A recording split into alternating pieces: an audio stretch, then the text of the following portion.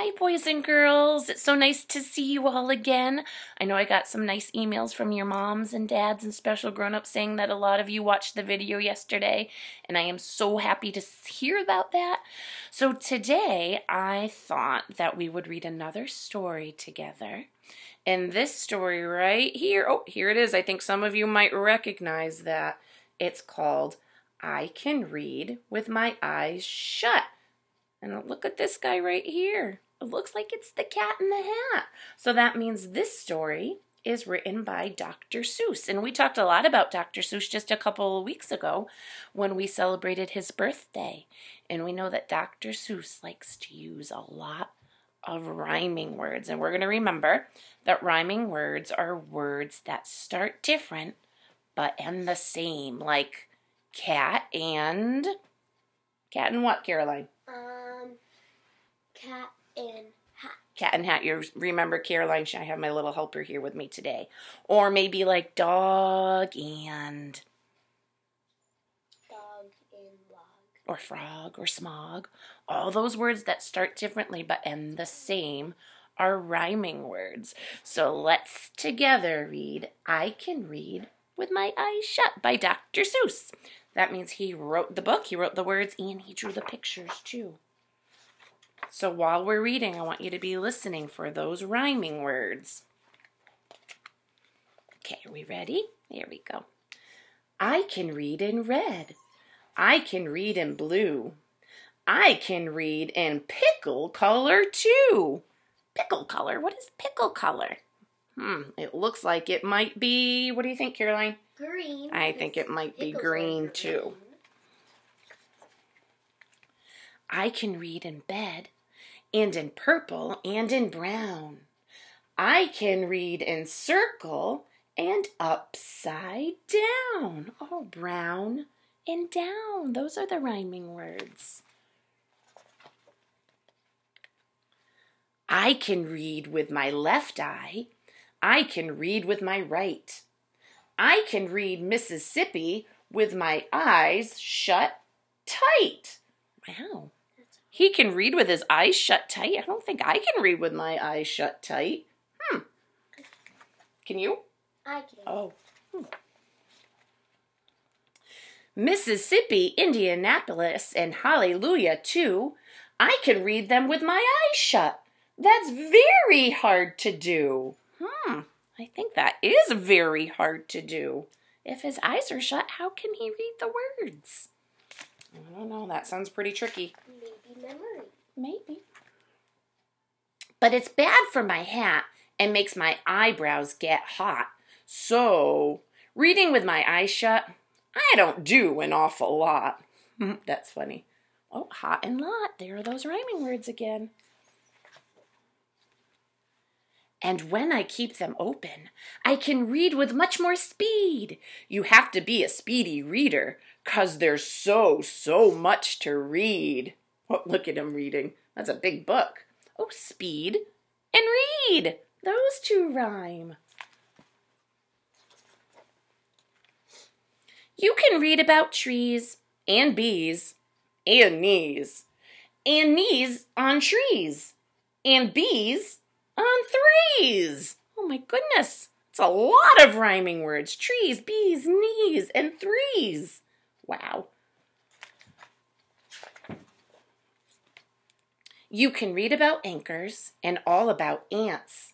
You can read about ankles and crocodile pants. Mhm. I've never seen a crocodile wearing pants before. You can read about hoses and how to smell roses and what you should do about owls on noses. Oh my goodness. Look at all the owls. They're sitting on the different people's noses. Mm. I don't think I would like that very much.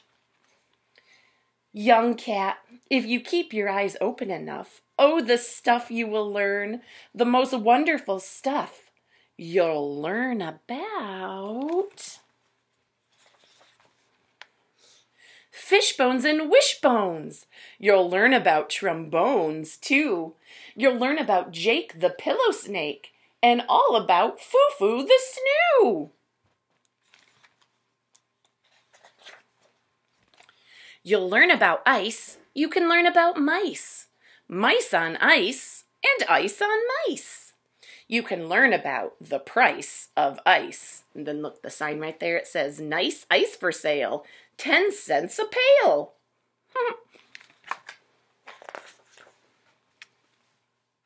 you can learn about sad and glad and mad. There are so many things you can learn about, but you'll miss the best things if you keep your eyes shut. Yeah, you will miss a lot of good things if your eyes are always shut. The more you read, the more things you will know. The more that you learn, the more places you'll go. Looks like they're taking an adventure on an elephant.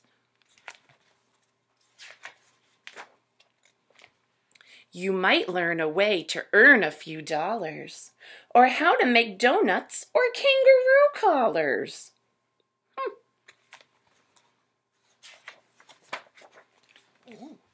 You can learn to read music and play a hutzut if you keep your eyes open, but not with them shut. Wow, look at that musical instrument. Looks Looks like it'd be hard to play. looks like a mixed instrument. It does. It looks like a it's a mixture of lots of different instruments. Yeah. If you read with your eyes shut, you're likely to find that the place where you're going is far, far behind. Oh no. So, that's why I tell you to keep your eyes wide. Keep them wide open, at least on one side. If they have one eye open and one eye closed. That's so silly. And that's the end of our story called I Can Read with My Eyes Shut. So, boys and girls, there were lots and lots of rhyming words in this story. So, I'm thinking maybe if you talk to your special grown up or your mom or your dad, maybe you can ask them if you can do one of our favorite rhyming songs. You remember our Jack Hartman songs? This might be a good time where you could look up Jack Hartman and look up Rocco the Rhyming Rhino.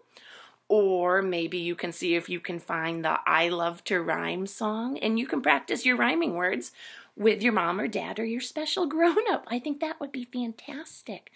And boys and girls, since I just read you one of my favorite stories, I'm wondering if maybe sometime today you can find your favorite story and read it. Maybe you can ask mom and dad or special grown up if they can take a picture and maybe you can send it to me because you get to see me, but I don't get to see you.